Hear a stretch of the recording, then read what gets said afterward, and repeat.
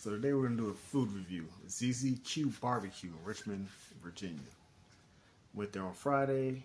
Happy to be uh, happy to make my last stop before I left good old Richmond for the work week. We arrived, took pictures outside. I'll post those in the video. Walked in, saw a menu. It's a pretty well stocked menu. Brisket, pulled pork. They have chicken. They have pork wing sausages. Have passion fruit, mango cheesecake, which I love cheesecake, so I had to get it. There, there was no way around that. They also had good stuff like the corn that they had. My coworker got that. I'll leave it to him. I'll trust his judgment on that. He said the corn was actually great. It was pretty excellent. He loves corn, but he said this was on, this was on another level.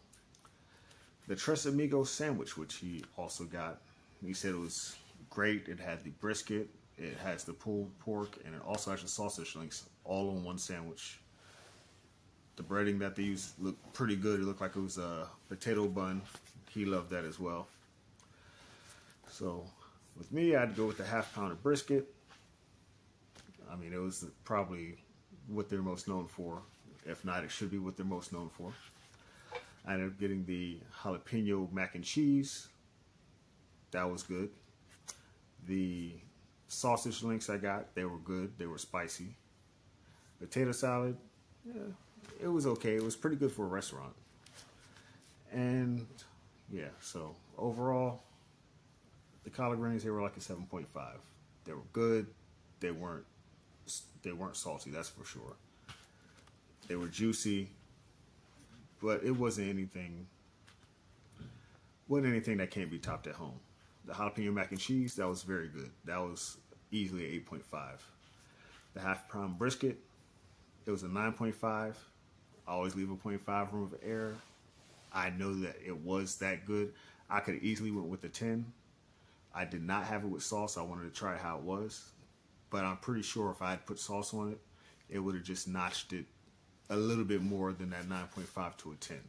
So we'll leave that 0.5 for error. I usually like to get food and eat it how it was made. I don't like to add a bunch of stuff to it.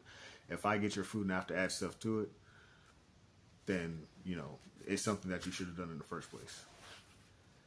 The sausage links, they were good nine. Very spicy. If you're not used to spicy, stay away from it. Just absolutely just stay away from it because you're gonna drink a lot trying to get, you know, trying to get back to regular. The passion fruit cheesecake. I'm a whore for cheesecake. And I'm very specific about cheesecake. I will, if I take two bites and it's not good, I'll toss it in a heartbeat with malicious, malicious intent.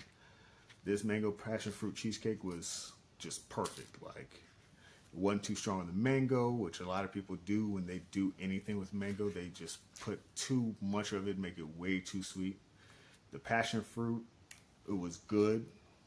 It wasn't as strong as the mango, but you could definitely tell it was there. There's, there was not one was overpowering the other, but it wasn't too sweet either. Even the uh, the Cool Whip that they had on it, I'm assuming it was Cool Whip, that was good. Overall, I probably give it about it. Overall, I probably give it about 9.5, 9.7. Anytime I go back to Richmond, especially if I don't have somebody with me who has been there, I'm gonna drag them in there. I'm, they're, they're gonna have to find out what this little, this little is one little shop, but they could easily expand if they keep the same quality. They could easily expand in a heartbeat, no problems at all. Next time I will have to go back. When I go back, I will have to try the corn, the Tres Amigos sandwich.